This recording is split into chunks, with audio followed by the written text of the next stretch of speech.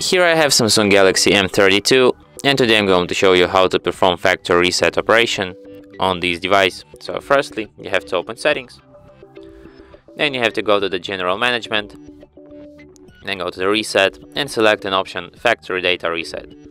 Then tap reset and then delete all. And after that your device will be restarted in about a minute.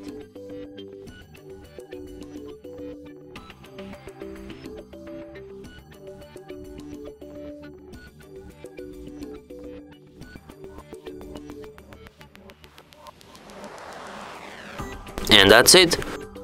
Thanks for watching. If you find this tutorial useful, don't forget to hit that like button and subscribe to our channel.